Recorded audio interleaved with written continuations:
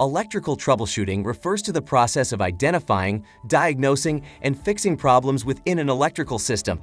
It is a key step in ensuring safety against electrical hazards. But where do you start and how can you avoid common mistakes? First, before you work on any electrical system, it is crucial to understand the basics. This means knowing the layout of your system and the role of different components. In electrical troubleshooting, safety is a must. Wear your PPE and follow lockout-tagout procedures to prevent accidental power flow. If you're working with high-voltage equipment, use insulated tools and be cautious of potential shock hazards. After successfully completing an electrical troubleshoot, it is recommended to document and record your process and findings. This will serve as a reference for future maintenance and inspection checks. Now, let's move on to the step-by-step guide on basic electrical troubleshooting. Before touching anything, always disconnect the power source.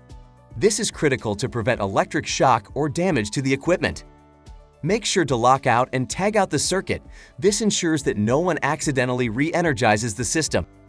Once it's safe, the next step is inspecting visual components. Look around for obvious signs of wear, like broken wires, charred connections, or loose parts. These can give you clues about where the problem might be. Next, check the wiring connections. Sometimes, the issue is as simple as a loose wire or connector. Use a screwdriver to tighten any connections you see. Next up, grab your multimeter and check for continuity, voltage, and resistance. Test for continuity to see if current flows properly through the circuit. If you find a break, that's where the issue lies. Sometimes, a specific component like a resistor, capacitor, or fuse is the culprit. Test each component individually with your multimeter to make sure they're functioning correctly. And remember, always compare your readings to the equipment manual to know if they're within acceptable limits.